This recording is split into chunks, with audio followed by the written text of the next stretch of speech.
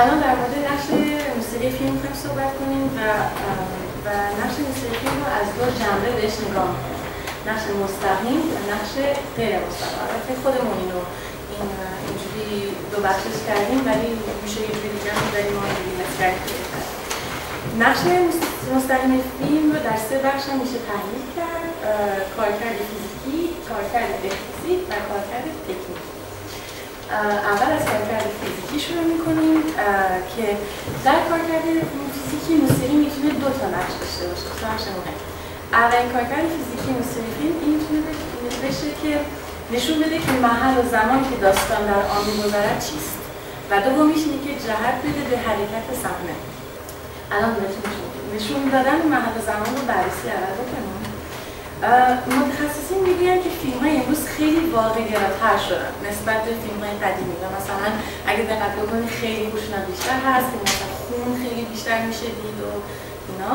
و در نتیجه موسیقی هم باید خیلی واقع گراتر هم بشه. و در نتیجه یه آهنگساز خیلی ازش انتظار ورده میشه که به چیزان خیلی بیشتر توجه بکنن. و به طور مثال مثلا یه بیننده وقتی یه ساز ماندولین میشنوه می‌تونه حد بزنه که این فیلم در ایتالیا مثلا ممکنه و آهنگساز نیکلوس روسا برای این خیلی معروفه که خیلی تحقیق می‌کرد در مورد موسیقی فرهنگ های دیگه. و الان مثلا السی که الان بهتون نشون می‌دید از از همون تیتراژش میشه تماتیک موزیکال اسپانیولی رو شنید و فهمید که کجا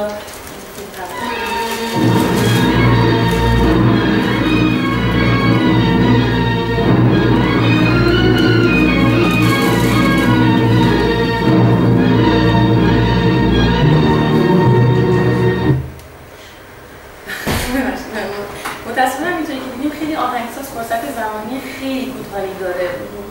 این دو سه هفته بیشتر وقت نداره مثل ما.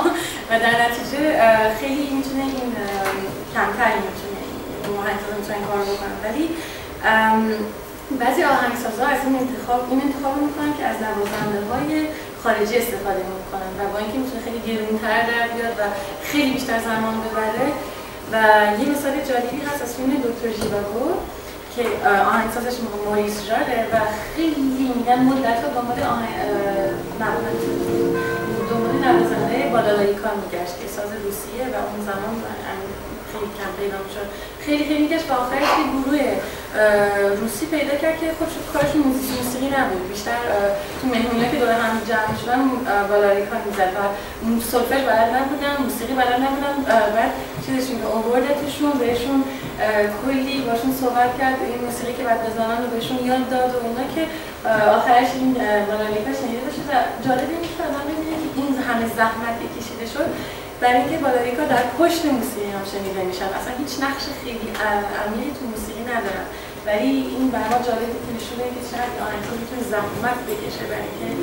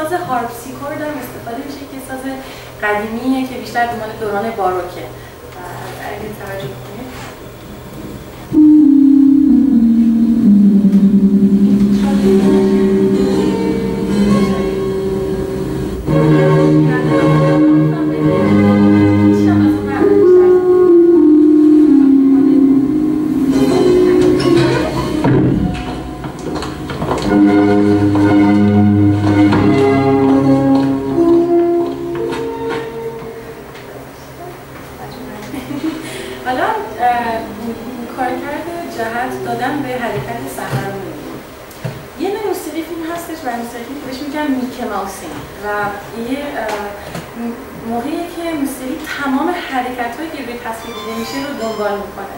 و یه نوع موسیقی هست که بدون فیلم هم هیچ معنی موزیکالی خیلی نداره. ما مثلا در فیلم جیمز بوند فیلم دکتر نو که الان می‌بینید که موسیقی کاملا حرکت کننده دست بله،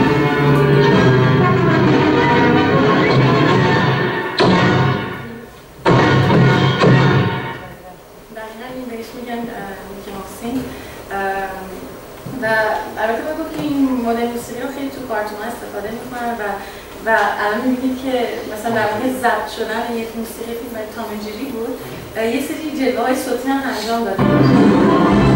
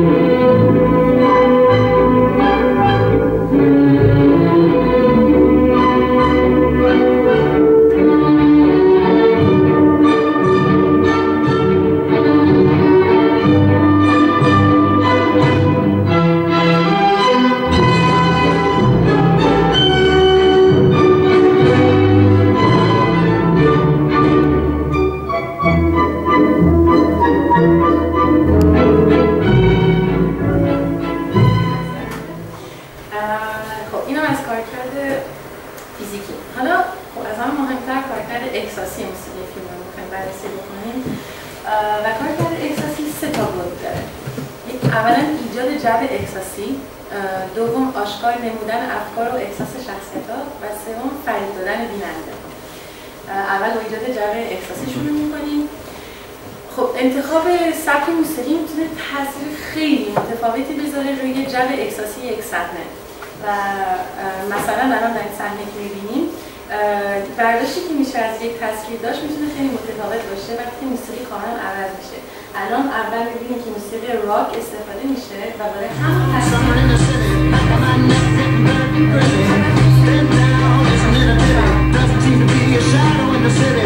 All around people looking at me, walking on the sidewalk, hollering a match, yeah.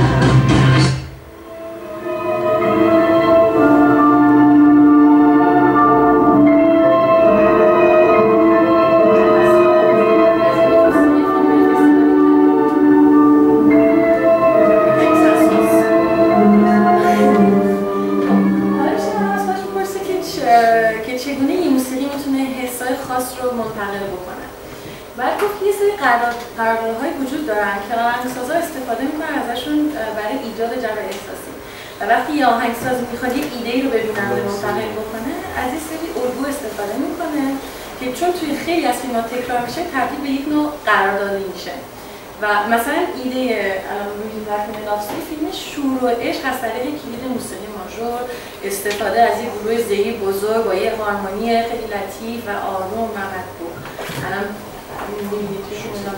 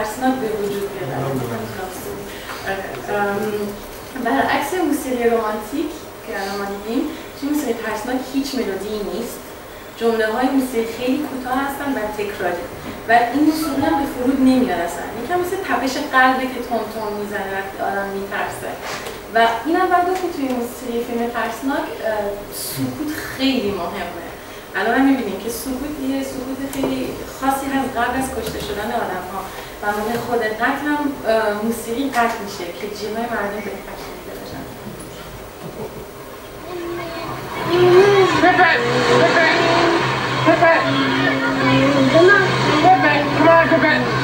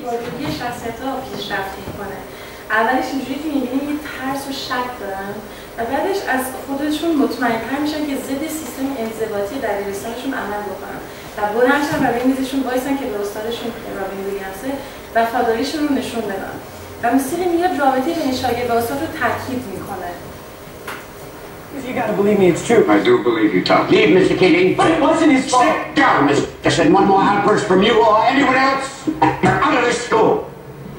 Leave, Mr. Keating. I said leave, Mr. Keating.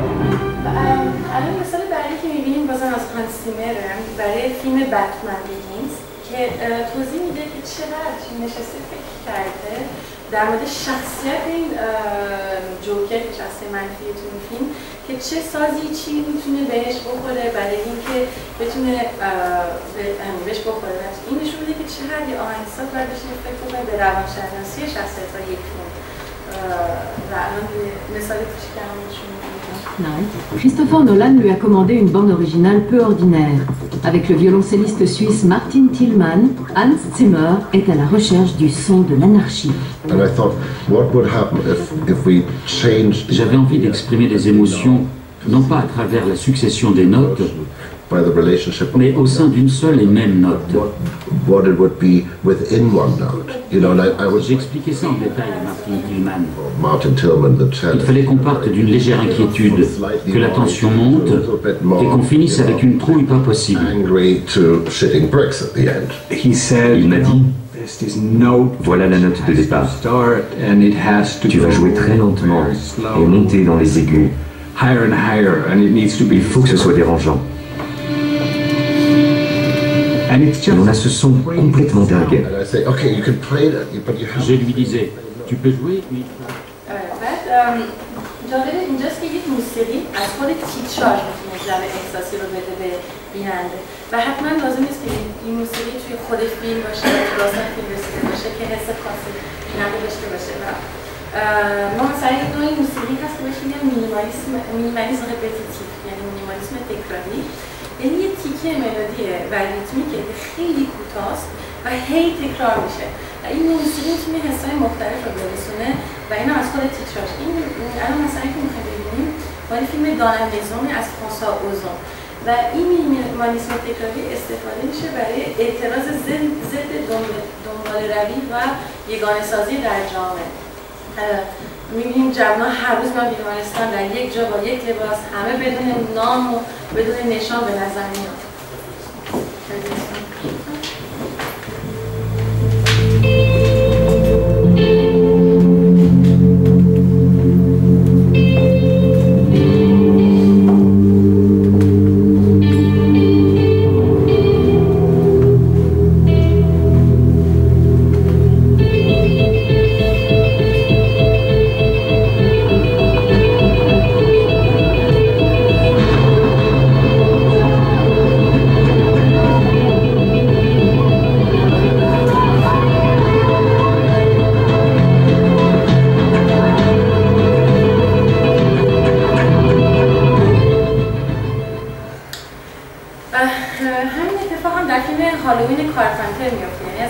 اسم تکراری استفاده می‌کنه از خود تیتراش در ضمن کاربردی که از کارگرهاست که خودش آهنگسازیشون می‌کنه. و این مینیمالیسم تکراری اینجا استفاده می‌کنه که کسی فضای بسته رو بده. کشنده است هی میره پایین به سمت سقوط همه نسخه کششون یکیه و یه حالت خیلی مکانیکی داره.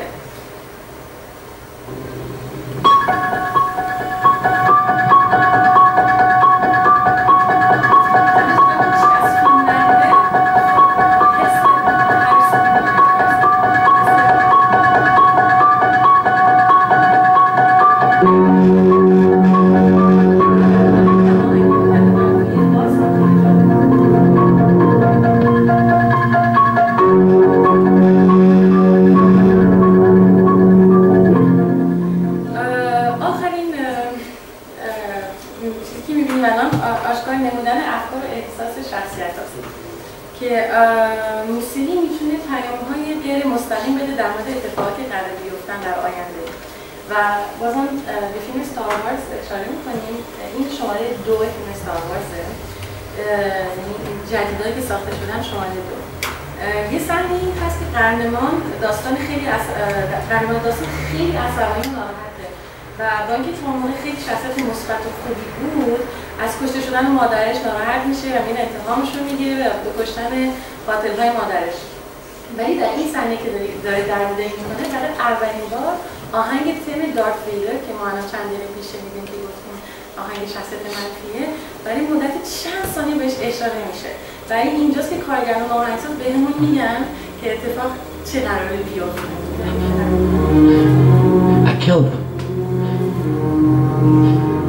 I killed them all.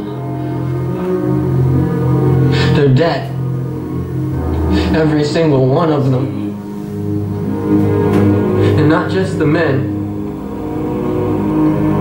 but the women. And the children, too. They're like animals. And I slaughtered them like animals. I hate them.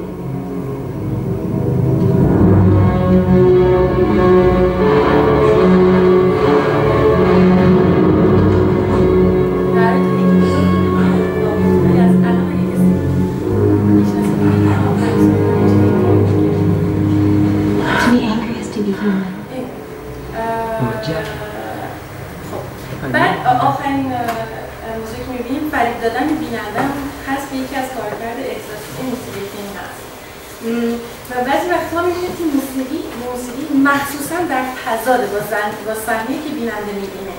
متخصص میگن که این هدف گیج, کردن بیننده است و تفاوت ایجاد کردن با چیزایی که فیلم نشون میده. الان مثلا در فیلم رام که می‌بینید فیلم ژاپنی که آهنگسازش تورو تاکیمیتسوه و یه صحنه جنگی می‌بینم که بسیار خشنی هست ولی موسیقی لطیف و آرومه. و این تضاد برای نشون دادن این که در شخصیت اصلی هست. که داستان یه امپراتوره که دو تا پسراش دارن در حال جنگ هستن. و چون باورش نمیشه که اینقدر خشونت داشته باشن این ببینید که این موسیقی خیلی آرومه با یک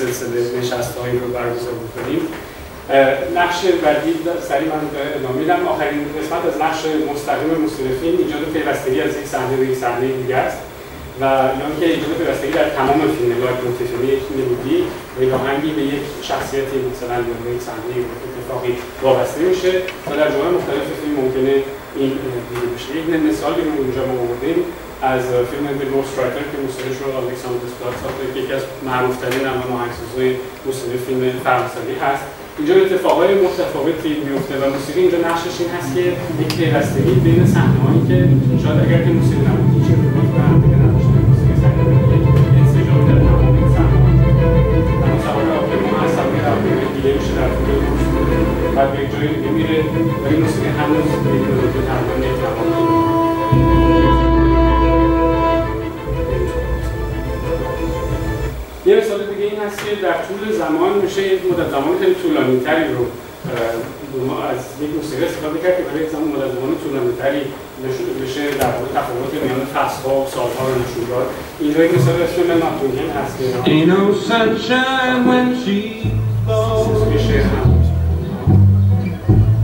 It's not warm when she's away. Ain't no sunshine when she's gone. She's always gone too long Anytime she goes away Ain't no sunshine when she's gone. It's not warm when she's away.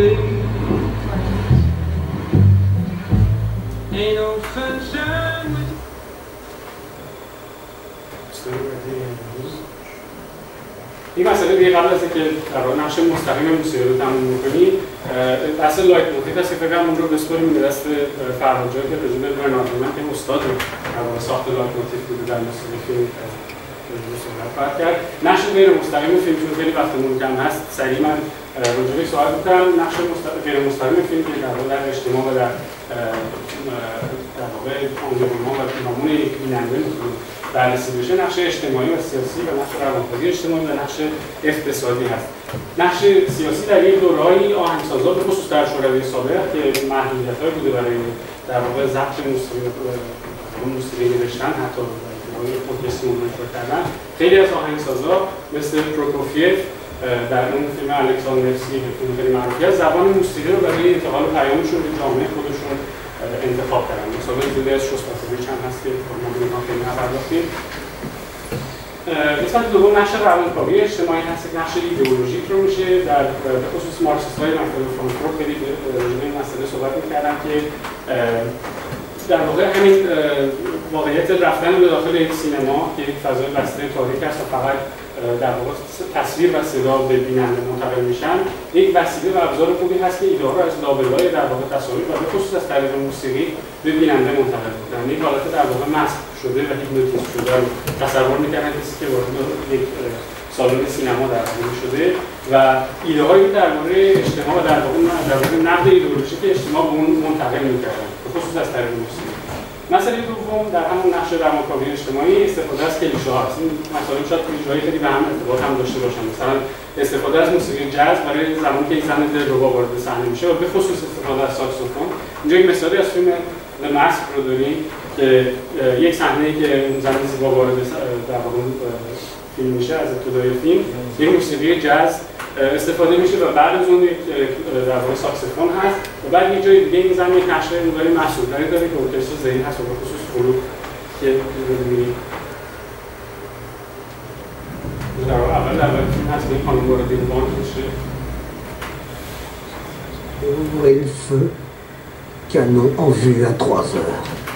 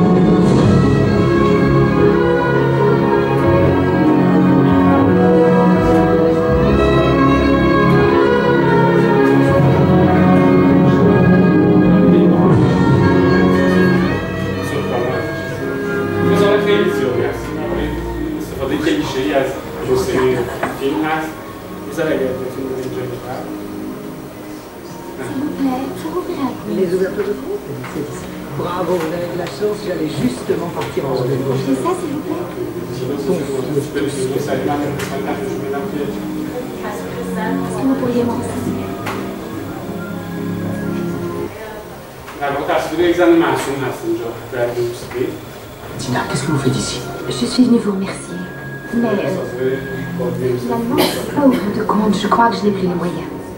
Pourtant, au club, je croyais que vous aviez du succès. Je ne veux pas vous embêter avec mes problèmes. Ça ira, rassurez-vous. Allez par là.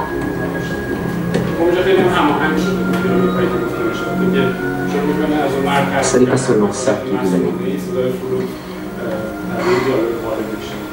Allez, autre chose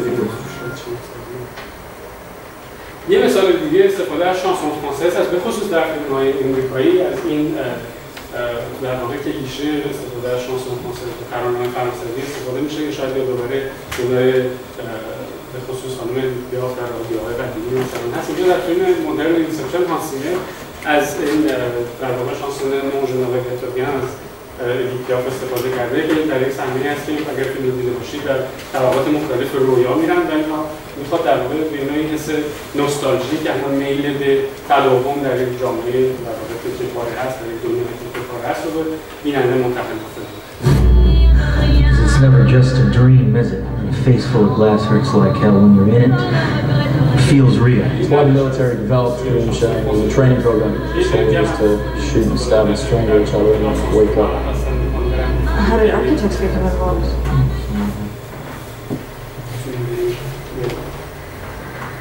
A se radi da naša diagnoza, da imamo u sredi naše ekstresovija, مسئله مهمی هست. سیدی هایی که می‌بینید از موسیقی فیلم منتشر شده شد خریدی خریدی دوستان حافظه دانلود کردن هستن.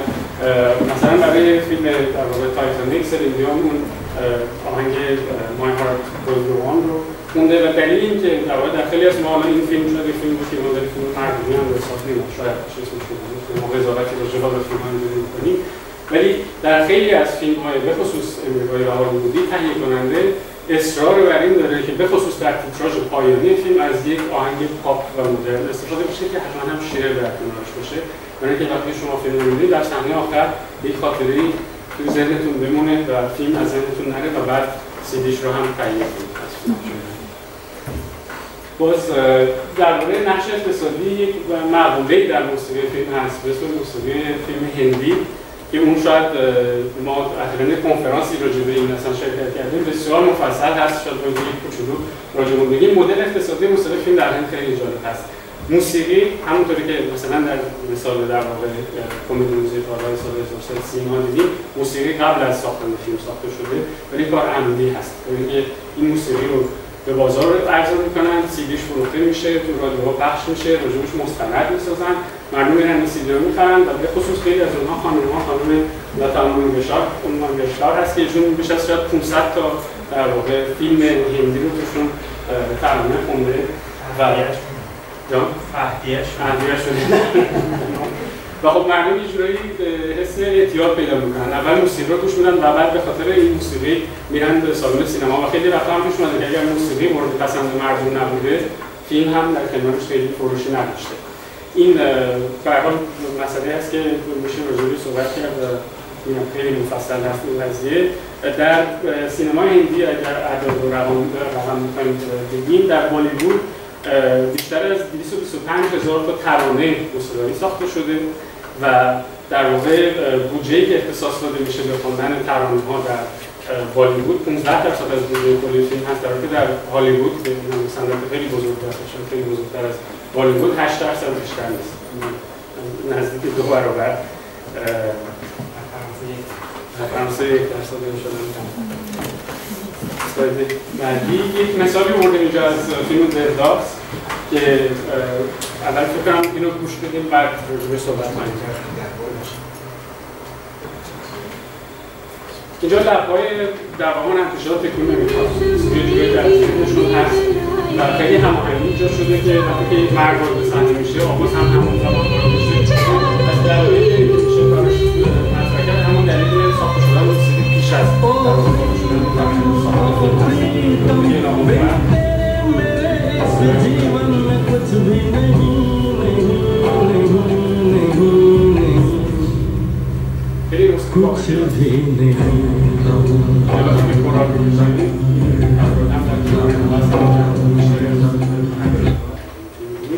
یک نمونه آخر و بعد از اون یه سریع بحث رو منتقل میکنیم به فرهاد عزیز یه فیلم هندی هست که این در واقع این نوعی موسیقی فیلم در هند هم از نظر اقتصادی هم از نظر اجتماعی گفت که استفاده میشه برای دور زدن سانسورها. چون موسیقی می‌تونه در واقع پیوند بخوره به یک رویا و یک دنیای غیر واقعی. و خب اگر که نگاه بکنید لوکیشن فیلم های هندی هم خیلی هاشون برای در واقع دور زدن سانسورها میرن در اتریش سوئیس و فرانسه اینها در انگلیس خصوص सागर हुआ प्यासा रात जगने लगी शोरों के दिल में भी आग जलने लगी। मैं ठहरी रही ज़मीन चलने लगी।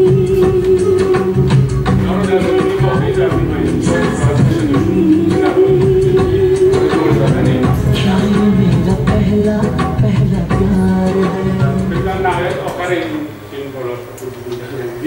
آخر این ترانه این دختر دست این پسر رو رها می‌کنه و میاد به زندگی شهری یعنی کاملا نشون میده که در واقع گذری بود از یک رویا به واقعی. که نوع میشه در زندگی واقعی برای جامعه هندی شده نقش در واقع ترانه در موسیقی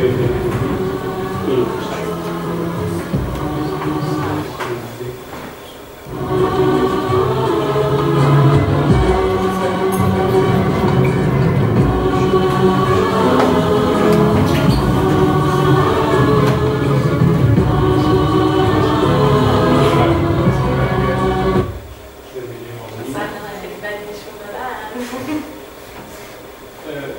بخش خیلی کوچکی هم من راجع صحبت خواهم کرد که خیلی سریع برای اینکه در واقع پیوند بخوره بحثمون به بحث فرهاد عزیز. و اون هم زوجهای آهنگساز و کارگردان هستن که همونطور که گفتم در در فرانسه و در امریکا مثال خیلی زیادی هست خیلی هم مثال بین آهنگساز فرانسوی و کارگردانی هست مثال خیلی معروفش این روتا و فدریکو فرنی هست که فیلماشون می‌شناسید که شد تا هشتمین موریژا و لیدی اونجا آهنگساز فرانسوی کارگردان به خصوص برای فیلم لورنس عربی اینا هر کدوم داستان ها پشتش هست و کتاب ها نوشته شدن روی اینها ژورژ دورتوی و فرانسوا توفول خیلی مهم هست در در واقع از کسانی هست در موسیقی موج نو سینما موج نو فرانسه نقش داشته به خصوص تو فیلم نتفلی میشل لوبهان و ژاک دلمو مثال دیگه هست. استایل بعدی انیو موریکون و سرجیو لونه به خصوص در فیلم های وسترن وانس اپن تایم وست یا خوب پرزش خاطر این مشکلات. فرانسیس لی و کلود لروش همون فرانسیس لی کسی است که چه موسیقی رو ساخته بوده؟ کسی یادش بیاد دی اصلا دوباره می‌کنن. جان ویلیامز و استیون سپیلبرگ که ما قرار بود یک بخشی راجع به این صحبت بکنیم. مفصل که فقط در واقع چند تا پوستر از فیلماش به خصوص جاز که اسکار بهترین موسیقی فیلم رو هم گرفت شیندر گریس ایندیانا و اریکس را و میکلسون که فیلم در واقع روکامبینو خیلی معروف است به اریکس آمانتون نشون دادیم و آخرین ولی دنیل فمن و تیم برتون به فیلم های بتمن بعدی آلبرتو ایگلیسیاس و پدرو آلماندووار و الیسان دسپلت و ژاک این مثال خیلی جالبی هست از در واقع این زوج آهنگساز و کارگردان به مثلا در فرانسه انگلیسی به میگن تاندم الیسان دسپلت برای تمام 11 فیلم ژاک اودیاق آهنگ ساخته و به خصوص فیلم دو بعد مقیاس تحته که در بیرنام آلمان برلین هم پرسه نقطه موسیقیش موسیقی ساخته. و در نهایت دو تا شخصیت خیلی بزرگ رو فرداد عزیز به ما افتخار داده در راجع به صحبت می‌کنه برنارد هرمن و آلفرد هیچکاک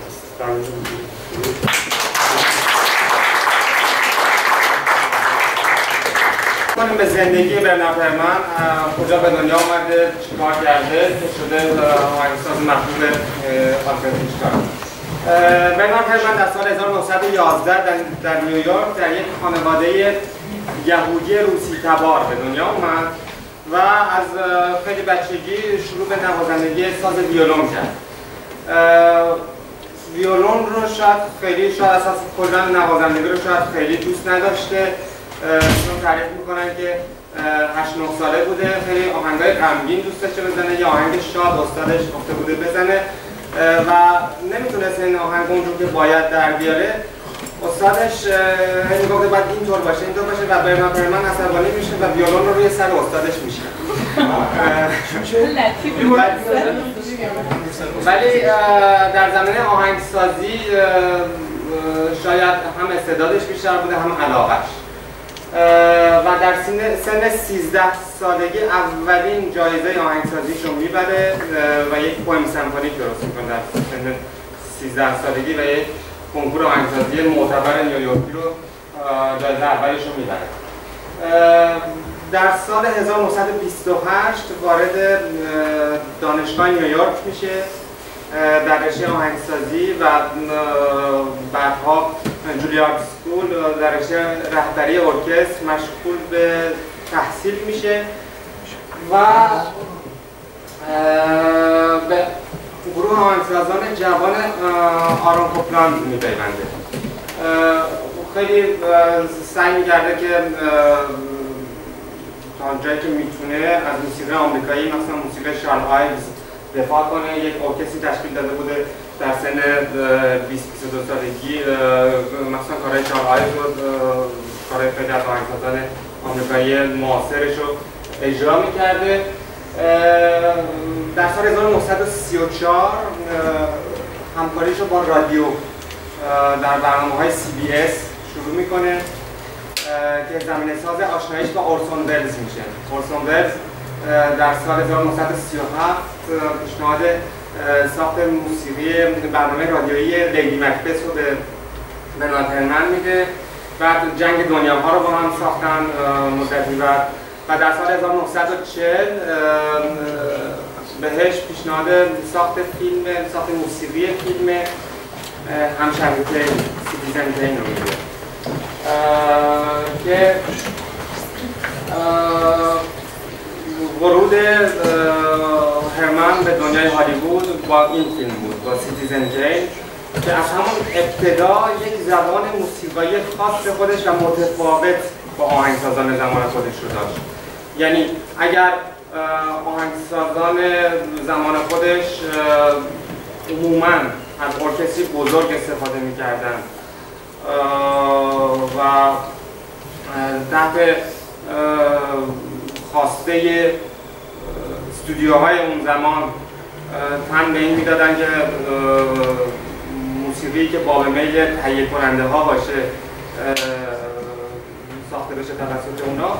بنابراین من هرگز این کار نمی‌کرده. موسیقی میساخته که مناسب به نظر خودش مناسب اون فیلم اون موضوع و اون فضا باشه و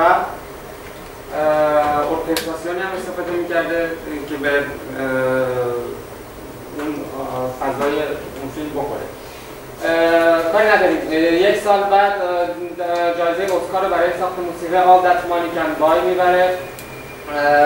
می‌تونیم خیلی سریع بریم سراغ یه راست دهه 50 و همکاریش با آلفرد هیچکاک چون درخشانترین زمان شاید پرونده هنری هرمان باشه و حتی هیچکاک این همکاری در سال 1954 شروع شد. گرچه هیچکاک سه بار قبل از این به هرمن پیشنهاد ساخت موسیقی های فیلم های دکتر ادوارد سایه یک تردید و یک فیلم دیگه رو داده بود که هرمان به علت مشغولیت زیاد نتونسته بود این کار رو موسیقی رو بنویسه. ولی بالاخره اوکی رو گرفت. از هرمان در سال 1954 و فیلم دردسر هری رو هیچکاک و هرمن با هم کار کردن که برخلاف اکثر فیلم های شاید می‌تونیم بگیم حتی تنها فیلم هیچکاکی که تنز زیادی توشه. البته یک تنز سیاهیه که شاید به گفته حالا خود هیچکاک خیلی مهم بوده که آهنگساز این تنز سیاه رو درک کنه و موسیقی متناسب با این تنز رو بنویسه حالا اگه میشه یه موسیقی رو آره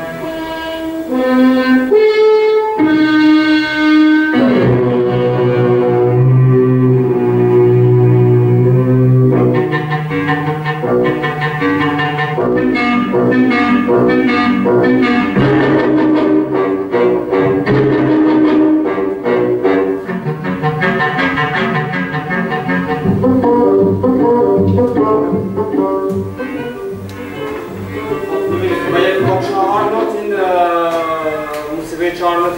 توسط سازهای بادی برنجی نواخته میشن. این موسیقی شروع میشه که ارتباط داره با اون قتلی که ناخواسته انجام شده در فیلم. شاید این فیلم رو اکثر شما ندیده باشید چون از فیلم های بزرگ هیچکاک نیست. موضوع این فیلم اینه که یک مردی در جنگل های برمونت کشته شده. و شخصی به نام کاپیتان مایلز که می‌خواست شکار خرگوش کنه فکر می‌کرده به خاطر تیری که از تفنگش شلیک شده این شخص کشته شده. در حالی که از قرار اینطور نبوده. و این چهار خب خیلی شخصیت جدی میدن به اون فضا. ولی هر دفعه پشت سرش یک تم خیلی سبک موسیقایی میاد که این تنز رو یادآوری کنه و اینکه این مرگ خیلی جدی و دراماتیک هم نیست می‌تونیم آره خیلی راجع به این فیلم صحبت نکنیم راجع به مردی که زیاد می‌دانست صحبت می‌کنیم به من تو ماش در این فیلم هرمن از ارکستر سمفونیک بزرگ استفاده کرد و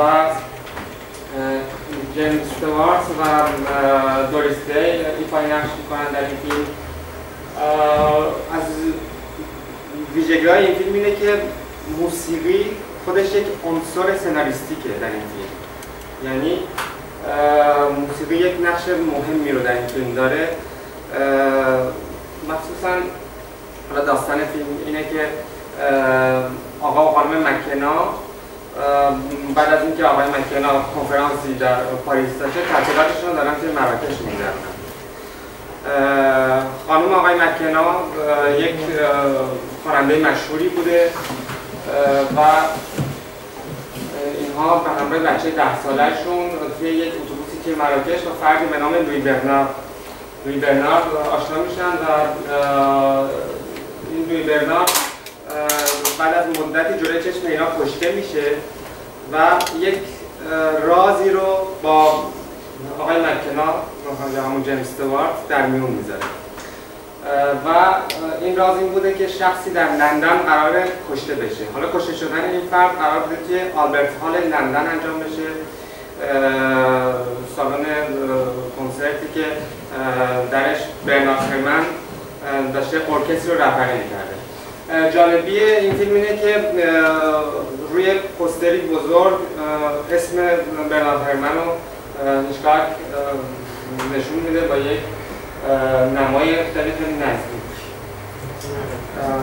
و آره راجبه این صحنه می‌تونیم صحبت کنیم که به خاطر فضای فیلم که در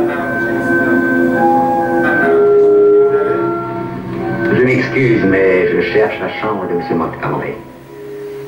هرمن استفاده از عنصرهای موسیقی شرقی می‌کنه. Oh, I'm sure there's no Montgomery here.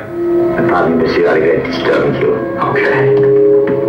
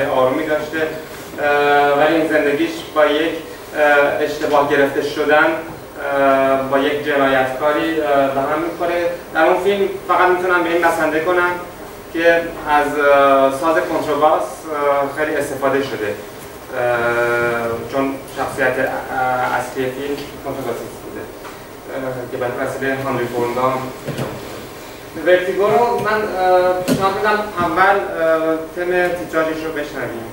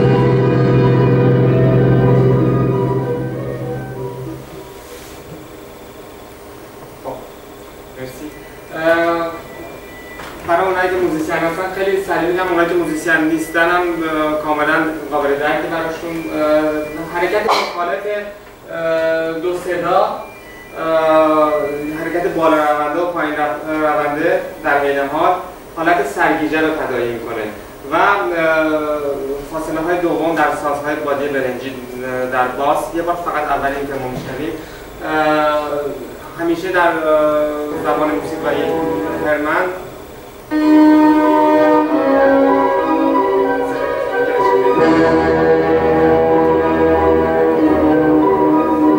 همیشه یک اتفاق بد داره خبر میده که رخ خواهد داد. مرسی. از همین تم تم تقریب و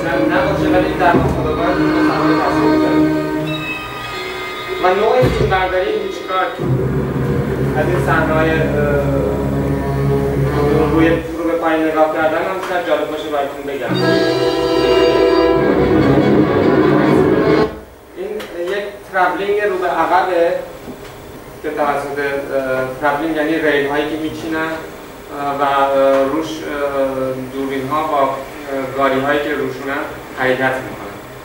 این travelling رو به زوم رو به جلو. و اونم در تصویر هیچکاک به این صورت حالت سرگیجه رو تداریم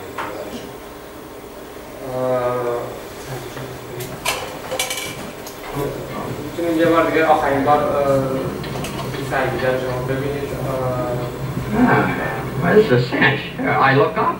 I look down. I look up. I look down.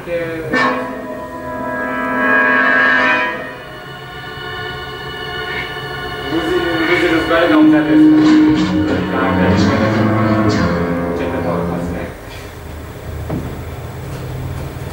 خب همونجوری که البرز گفت در البته برای آخرین بار که تقریب گاریز میاد اینم جالبه. این در فلشبک جودیه اگه داستان یادتون باشه.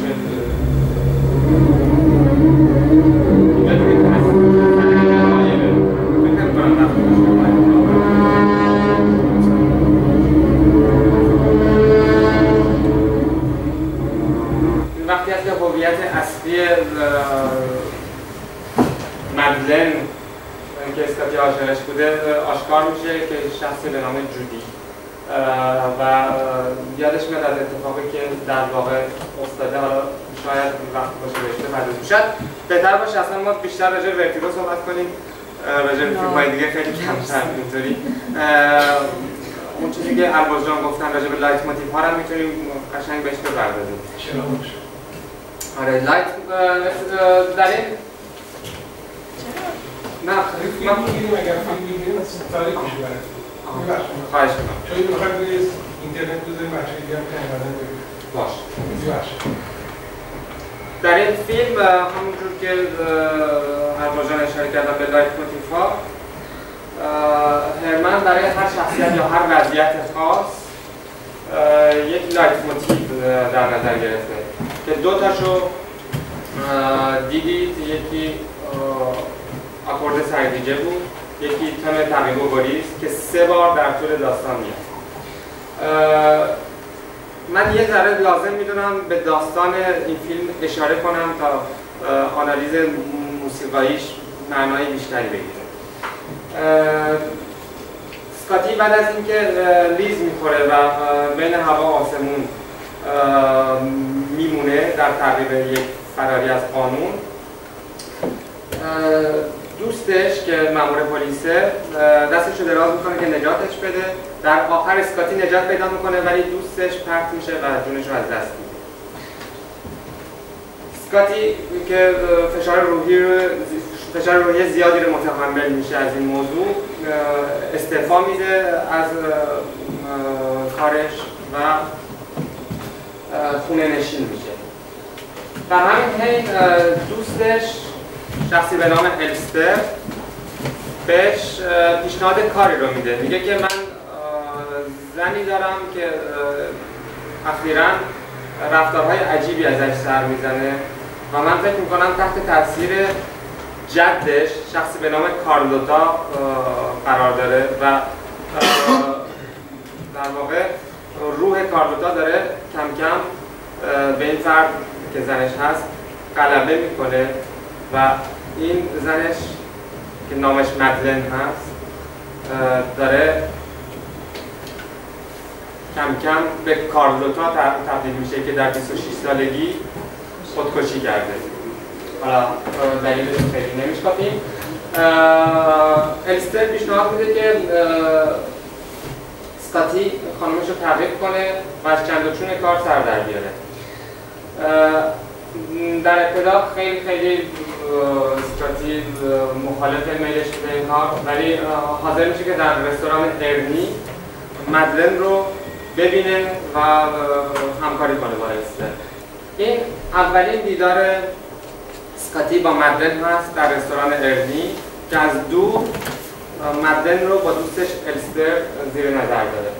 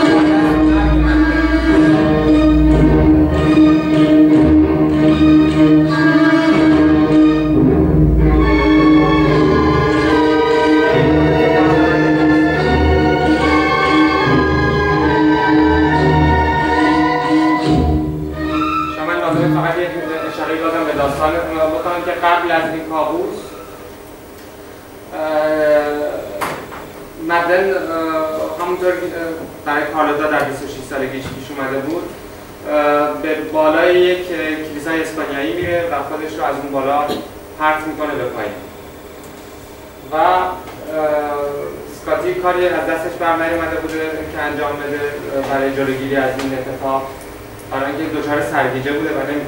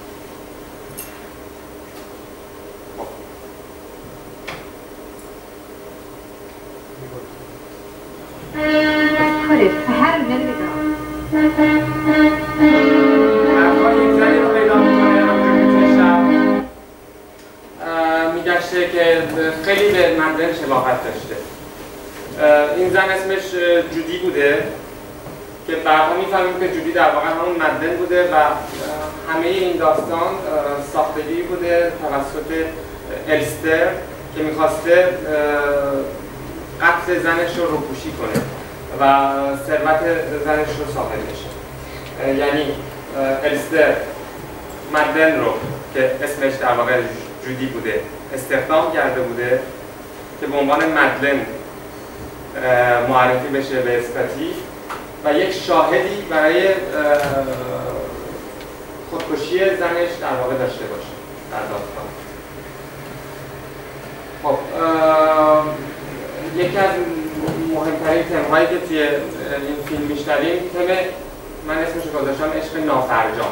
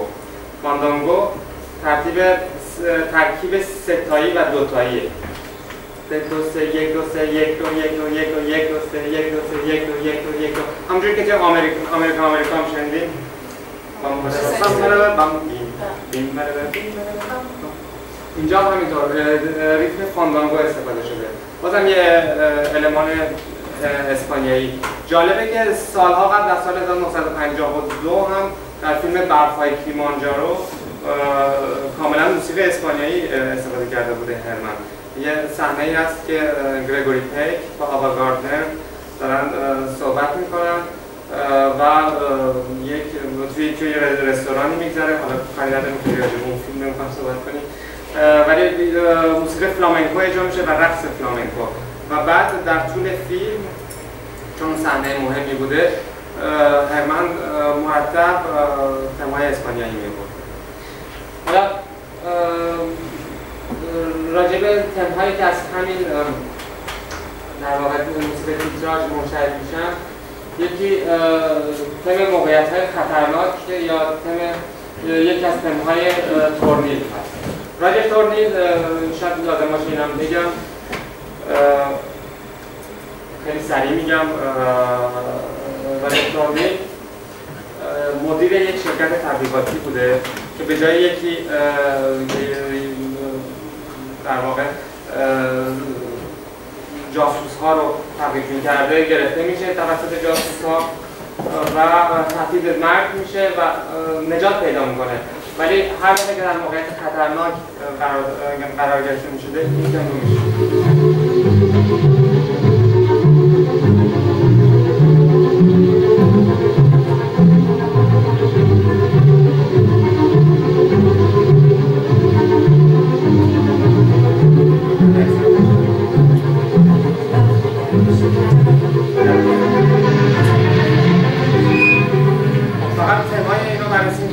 ذره من راجع به فیلم روانی هم حرف بزنم تم بعدی. تم بعدی تم جاسوس هاست. هر دفعه که واندم یا کسی که در واقع می‌خواسته راستهای دولتی آمریکا رو خارج کنه از آمریکا می‌خواد رویارویی داشته باشه با راجر تورنی این تم رو میشنوه.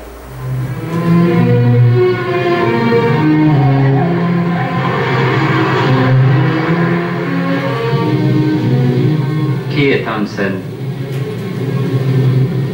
Vraiment C'est intéressant.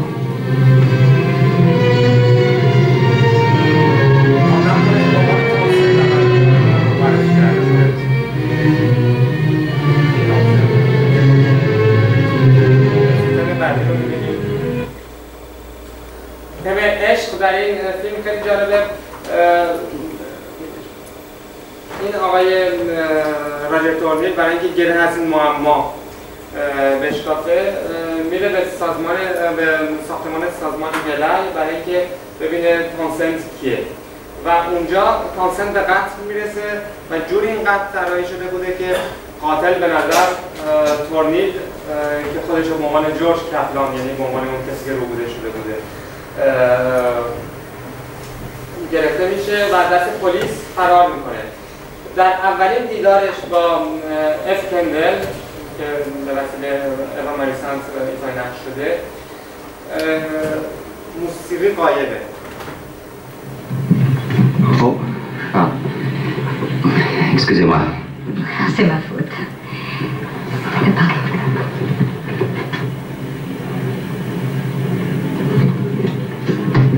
اسکندر رادتانی رو فراری میده. در واقع پلیس ها رو گمراه می‌کنه. بار دوم که نمانگر می‌بینن توی کوپه رستوران قطار بوده. واگن رستوران. Bonsoir, monsieur. Un couvert Par ici.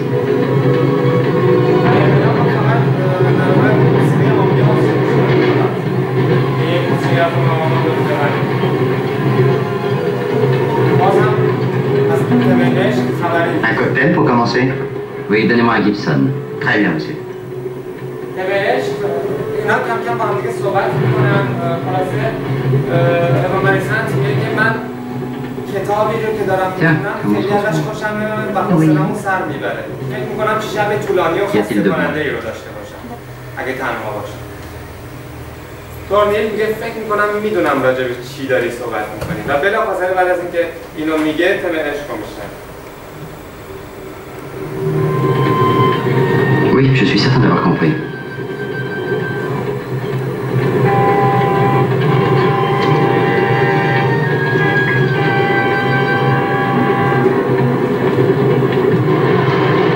Ce sont mes initiales, ROT. Roger Octon. Qu'est-ce que le mot signifie? Zéro.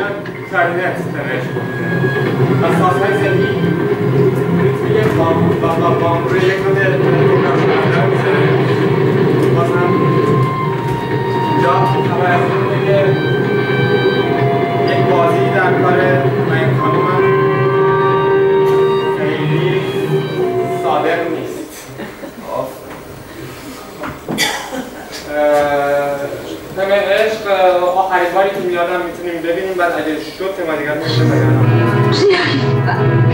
camp. Tire plus fort. آره.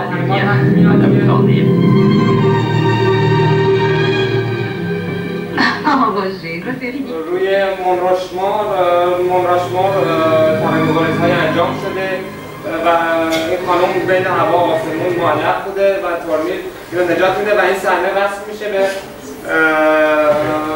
کوپه قطار و مسافرت تفریحی اینا یعنی که همه چی به خیر گذشته اینا با هم و این قطار اون توجه به محدودیت های اون زمان جور دیگه نمی‌تونسته هیچگاه چیزی رو بگه و اون قطار وارد یک تونل میشه. حالا دیگه خودتون هست.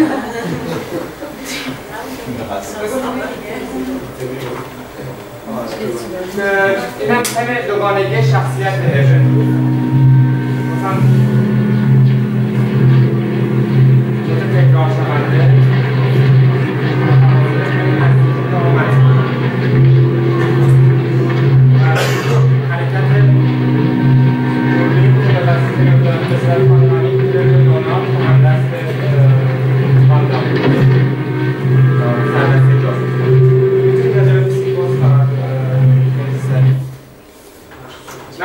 هم فقط بگم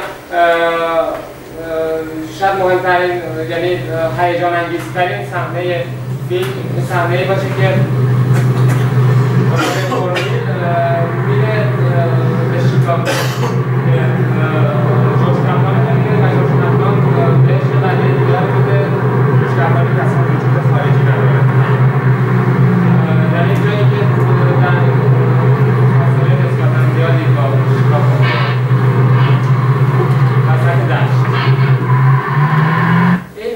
این چیزی حدود 8 دقیقه می‌کشه و فیلم کاملا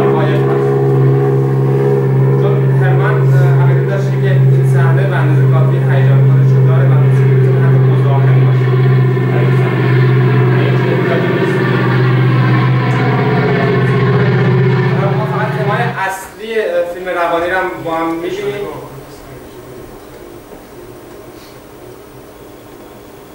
آره فقط تو صحنه قتلی که توی سازمان ملل انجام شده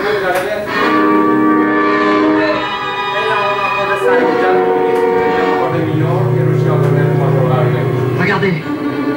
و اینجا به عنوان قاتل گرفته میشه.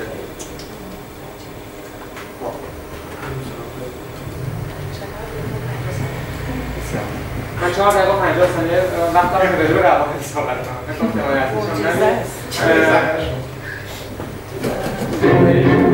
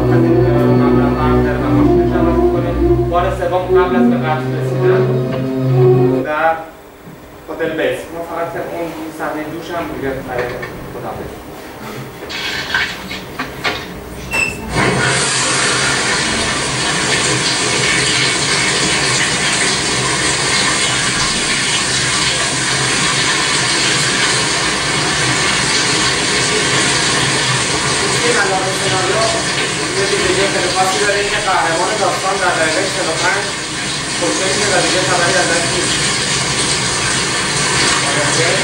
در دقیقه 45 کشته داستان فقط هیچگاه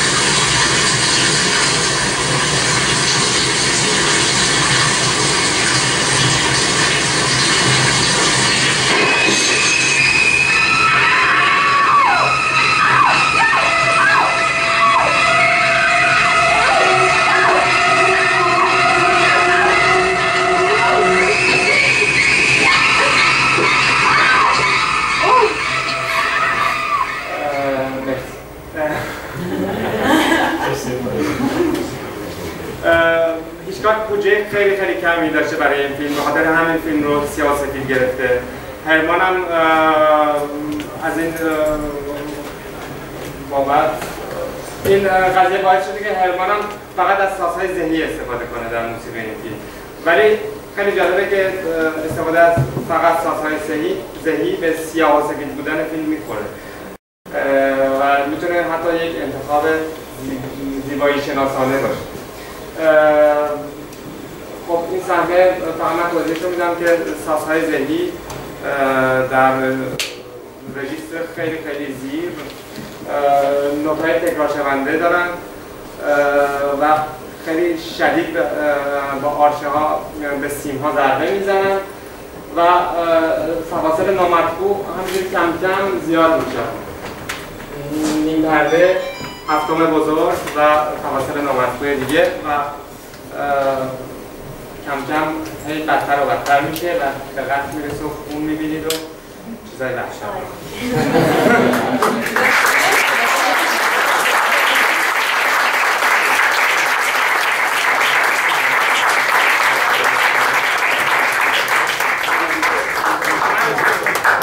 دارم.